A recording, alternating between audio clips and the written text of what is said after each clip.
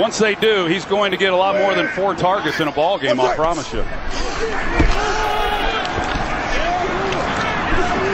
Wilson is going to scramble now, throw end zone, touchdown, Metcalf.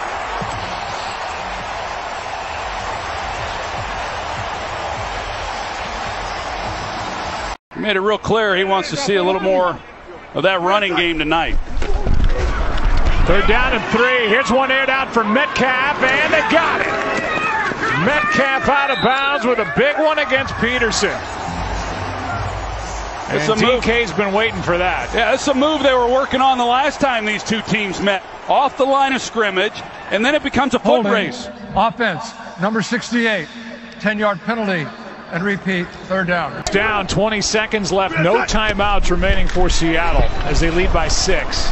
Deep drop. Wilson airs it out. Flag down on the play, and uh, here's another flag. DK Metcalf with Peterson in coverage. And there are two separate fouls for Wilson, two touchdown passes, three incompletions. So he was dialed in. First possession, second half. There's Metcalf. Nice move. Makes a spin, stays in.